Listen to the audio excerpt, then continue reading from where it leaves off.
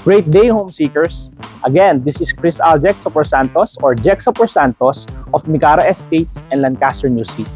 Ngayon po, nandito tayo sa Mikara Estates at guys, ipapakita ko sa inyo ang isa sa pinaka-best seller dito sa Mikara. Siya po ay si Porsche. Porsche Townhouse po ay may 45 square meters lot area and 40 square meters floor area. Ito po ay pwede through pag-ibig financing, bank financing, or in-house financing. Tara po, silipin natin siya. So kung mapapansin nyo po, ito po yung ating ah, car garage. So yung garahe, kasya po dito yung mga ah, sedan na sasakyan. Pwede rin po yung mga SUV, kaya lang medyo nakalabas po yung likuran or yung harapan. Kung patalikod po ay mag-park or paharap. So, meron po siyang malawak na space pa sa unahan. So, pwede kayong maglagay ng garden nyo, landscape. Mahilig po kayo magtanim.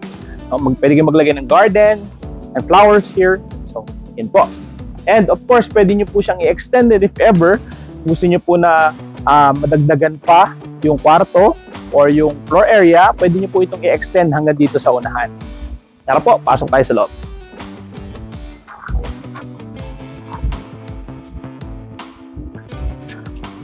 Ito po si Porsche. 40 square meters po ang floor area, 45 square meters po ang lot area. Meron pong tatlong kwarto si Porsche, isa sa baba, dalawa sa taas. Pasok po tayo sa loob.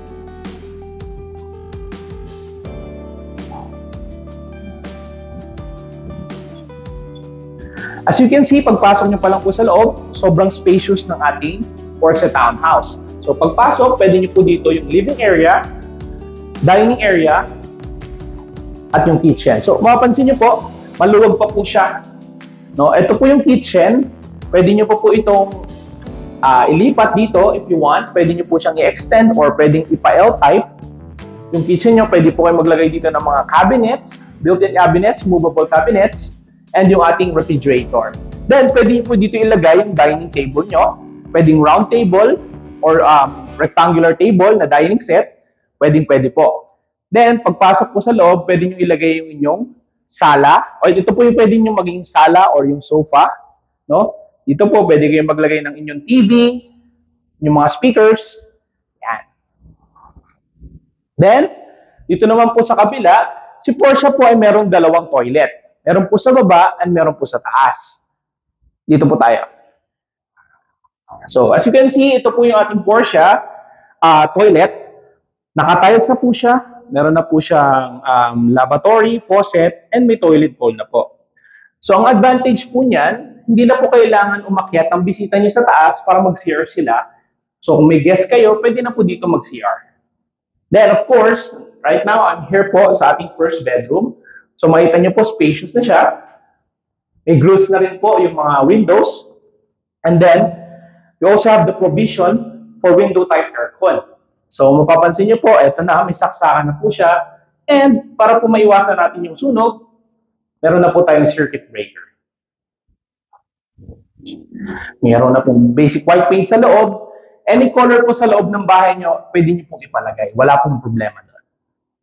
Yan. So, ngayon po, dito naman, at the back of our unit, makikita nyo po yung ating laundry area. So, this is our laundry area or service area. So, dito, dito po pwede nyo ilagay yung inyong mga ah, washing machine or if you want, pwede nyo po itong i-enclose. So, parang um, dirty kitchen ang, ang, ang um, design na pwede nyo pong ilagay dito. So, kung maglalabo po kayo, hindi na po sa unahan, pwede na rin po dito sa likod. So, kung gusto nyo rin po, mahilig kayo magluto, pwede nyo po itong dirty kitchen para hindi po makalat sa loob. Ngayon, tapos na po natin ah, i-check yung ground floor. Punta naman po tayo sa second floor. But before that, bago po tayo makyat, as you can see, yung ating pong stairs is made of concrete. So, hindi po yan gawa sa wood. So, hindi po inaanay. At sure po kayo na matibay.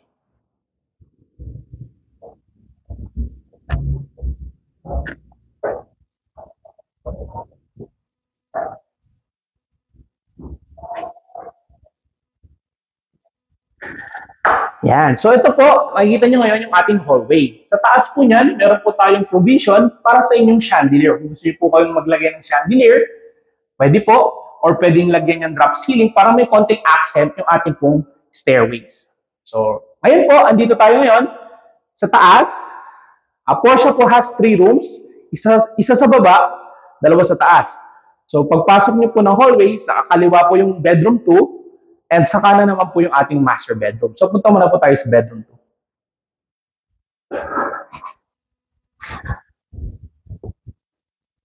Yeah, so dito na po tayo ngayon sa bedroom 2. As you can see, meron na rin po siyang windows, no? So may medyo malaki po yung window niya para yung natural light sa umaga po, sa morning or sa afternoon, hindi niyo na kailangan magbukas ng ilaw. Meron na rin po pala siyang provision for aircon. So hindi niyo na kailangan magbutas, naka-ready na rin po siya. Yeah. Any color again, sa loob po ng bahay, wala pong problem. Tara po. Punta naman po tayo dito sa ating master bedroom. Yan. So, papansin niyo po, maluwag yung ating master bedroom. Kasya po dito ah, hanggang queen size bed. Pwede rin po king size, medyo um, masikip na nga lang siya ng konti, pero possible pa rin po siya if you want na mas malaki yung bedroom. So, dito po sa side na to, as you can see, may extra space pa po tayo dito. So, kung saan nyo po pwede ilagay, pwede kayo maglagay ng cabinet nyo, pwedeng study table, kung nag-aaral po kayo, or may anak na nag-aaral, pwede po siya dito. Pwede rin po ilagay nyo, parang walk-in closet, ang, ang style po ng gusto ilagay, possible din po yan. Yes.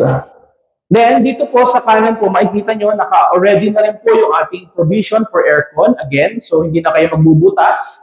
And then, andito po yung view ng inyong ah, likod ng inyong unit. Yan. Kung pa-enclose nyo po yan, pwede rin po. Lagyan nyo ng bubong or kung ano man po yung gusto nyong um, style ng enclosure sa likod. And lastly po natin, ito po yung isa sa maganda sa um, Porsche kasi yung ating pong toilet and bath, kumpleto na. Meron na po siyang lavatory, faucet, toilet bowl, and shower, faucet, and then of course, meron po tayong ventilation sa likod. Ah, sa, may ventila- meron po tayong ventilation sa CR. So, pansin niyo po, dito po, pwede niyo po itong buksan para kapag ka nag-share po kayo, pumasok po yung natural na hangin or lumabas po yung masamang amoy.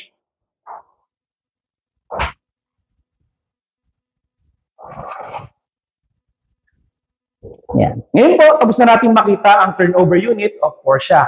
Punta naman po tayo sa model house or yung uh, dressed up unit ng Porsche wherein makikita nyo po doon may mga design ng mga may mga gamit na sa loob po ng bahay. Tara po, samahan niyo ako. Welcome back guys. Tara, punta naman tayo sa dressed up unit ng Porsche Townhouse.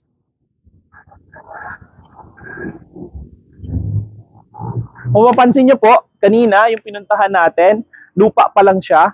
So dito po sa dressed up, pwede nyo pong ipagayat or pwede nyo gayahin, pwede nyo ipasimento po yun yung parking area. So sa left side po, makikita nyo, pwede kayong maglagay ng garden. So yung may extra space po tayo where you can put your landscape or any design that you want, pwede po kayong maglagay dyan ng mga table and chairs that, that made of concrete, no? Nakagaya ng mga design na ginagawa at uso ngayon. Tara po, asok tayo sa loob.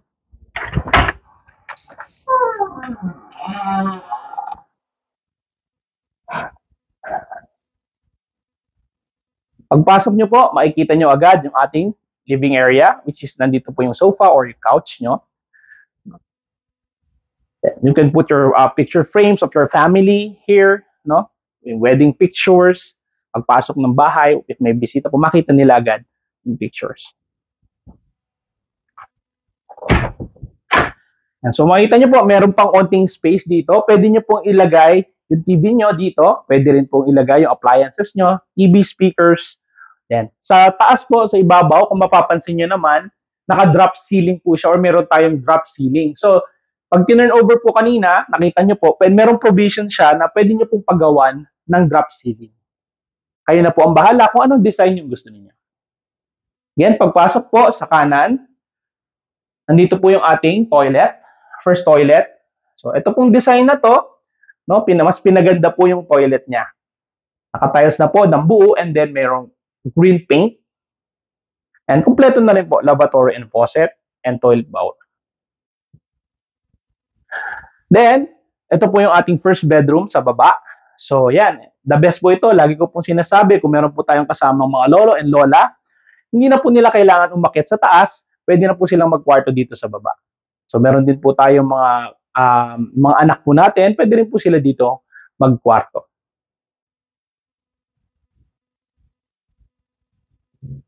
Dito naman po, makikita nyo yung ating pong dining area.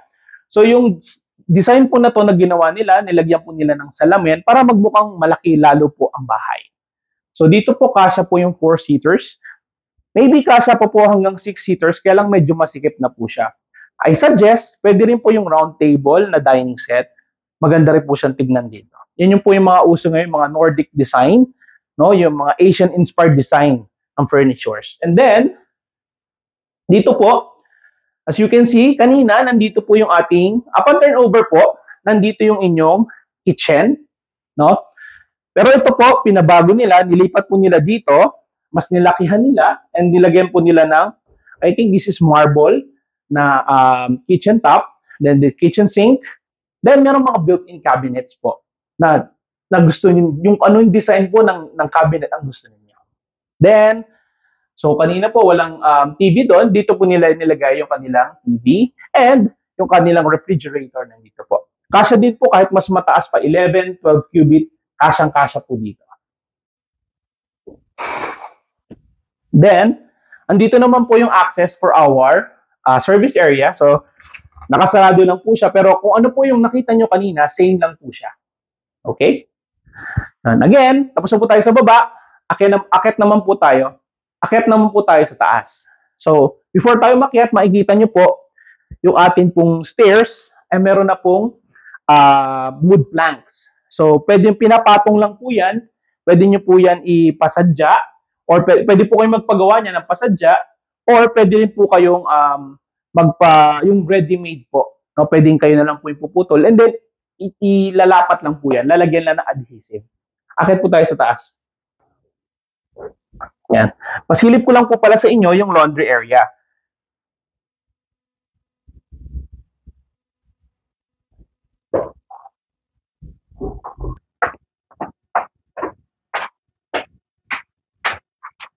Yan. So, andito po tayo ngayon sa taas.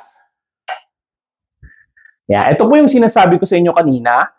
So, maluwag po yung ating uh, stairway. So, dito po meron tayong provision. Pwede kayong maglagay ng chandelier na gusto nyo design. Ito po is the, one of the best example na pwede nyo pong ilagay. And sobrang ganda po ng uh, sa pagkakadesign ng bahay na to. Punta po tayo sa second bedroom of Portia. Sa second bedroom po, as you can see, kasya po dito, uh, ito po is single bed, kasya po double, queen size or king size bed. Kaya lang medyo masikip na po dito pag king size or queen size. So I suggest double or pwede po kayong maglagay ng pull out pull out sa ilalim para po hindi, pag hindi ginagamit, pwede nyo po siyang ibalik. And then, pull out nyo lang ulit po pag gagamitin na sa gabi. Then, makita nyo po, ito po yung cabinet. Movable cabinet. Pwede kayong maglagay ng movable or built-in cabinet po na design ang gusto nyo. Next naman po natin, ito po yung toilet and bath. So as you can see, iba na po yung design nito compare sa pinakita ko sa inyo kanina. So naglagay po siya dito ng shower enclosure na ano lang naman po, um, kurtina lang, plastic curtain. And then meron po tayo dito yung ating shower, faucet, yung toilet bowl, lavatory, and faucet. So meron also, we have here the mirror kapag magkakaroon kayo ng, or mag, uh, mag, mag-makeup po kayo, pwede po ilagay dito yung mga makeups, uh, shampoo, soap, and dito po. And lastly, ito po yung ating master bedroom. So mapapansin niyo po yung master bedroom, ang pinakamalaking uh, room po sa, sa bahay na Porsche. So makikita niyo po, andito po yung ating um, bed, no? Uh, ito po is nasa, I think, double-sized bed. Pwede pa po kayo maglagay ng queen or king size. Pero I, I suggest queen lang po kasi sa king size medyo masikip na siya. So sa you know, hang ng mga shelves po, yan po yung mga uso ngayon na designs. No? And then of course, hindi po kayo maglagay ng side table, no? And dito rin po, kanina, sabi ko sa inyo, meron po tayong um, space or provision where you can put your cabinet, movable or built-in cabinet. So ngayon po, tapos na natin makita ang kabuuan ni Porsche Townhouse. Si Porsche Townhouse po is located at Nicara Estates, Tanza, Cavite. If you have inquiries, questions, or you have or gusto niyo pong mag-view sa Mikara, just comment down below or message me on my FB account, Jexapor Santos. Message po kayo doon and sasagutin ko po lahat ng inyong katanungan. Then, if you want site viewing po, papaschedule po kayo. Priority ko po ang schedule nyo. Ah, sabihan nyo lang po ako ahead of time para po ma- maiayos natin at mag-prioritize ko po ang site viewing availability time nyo po. Okay? Yun lamang po. Thank you so much guys pagsama sa akin and see you on our next vlog.